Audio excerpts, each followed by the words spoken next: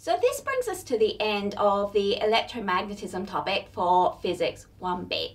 But before you go, let's have a look at what you'll learn about if you go on and do further courses on electromagnetism.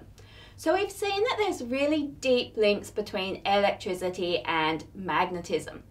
One of the ways that these forces are unified is through relativity.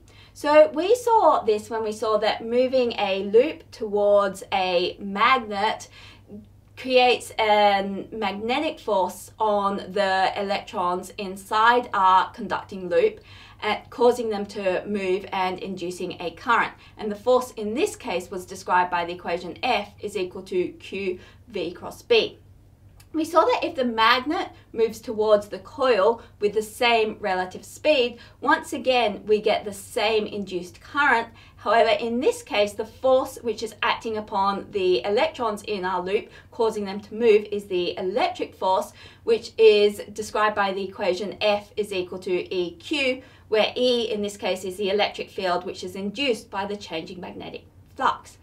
So whether the force is interpreted as a magnetic force or an electric force depends upon the frame of reference of the observer. So for example, if we imagine that we are an observer on the magnet traveling with the magnet, then as we move towards the coil, it appears that the coil is moving and so it's going to be the magnetic force which is starting the induced current inside the coil.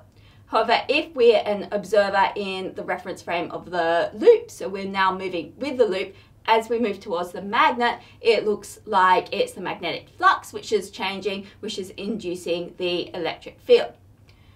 So these forces can actually be combined into a Lorentz force, which is described with the equation F is equal to Q brackets E plus V cross B. Now, this equation can work in any reference frame. So if we're moving with the loop, if we're moving with the magnet, or of course, we could have both of these moving from another reference frame. So as you go on in physics, you'll learn about relativity and how we can use relativity within electromagnetism.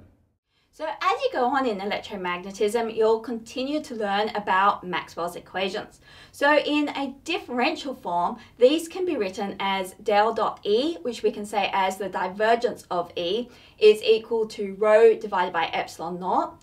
Del dot B is equal to zero. Del cross E, which we can say is the curl of E, is equal to minus the partial derivative of B with respect to T and del cross B is equal to mu naught J plus 1 over C squared times the partial derivative of E with respect to T.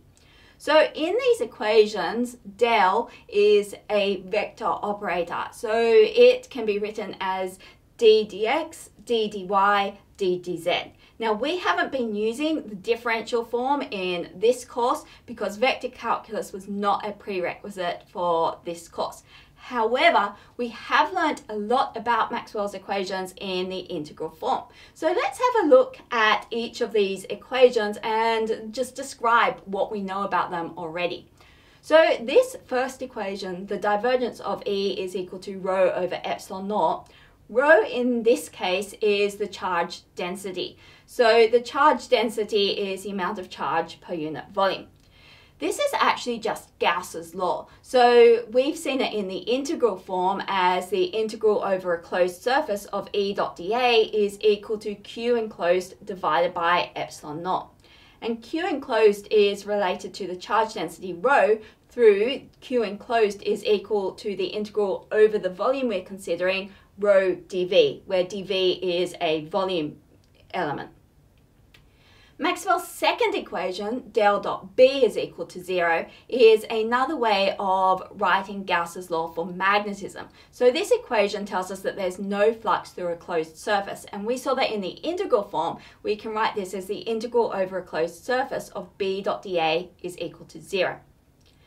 Maxwell's third equation, del cross E, which is the curl of E, is equal to minus the partial derivative of b with respect to t is another way of writing Faraday's law for induced electric fields. So we saw that we could write that the integral around a closed loop of E dot dl is equal to minus d phi b dt. This is just another way of writing Maxwell's third equation.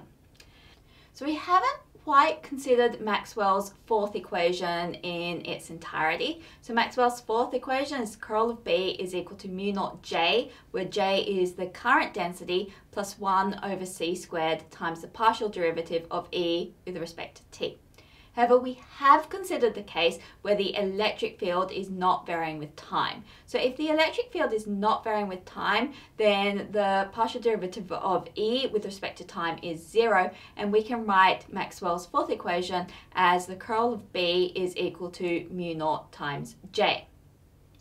Now it turns out that this is just another way of writing Ampere's law. So Ampere's law in the integral form we've seen can be written as the integral around a closed loop of B dot dl is equal to mu naught times I enclosed. So as you'll see, Maxwell's equations will form a basis for a lot of what you're going to be going on and learning about in the optics topic.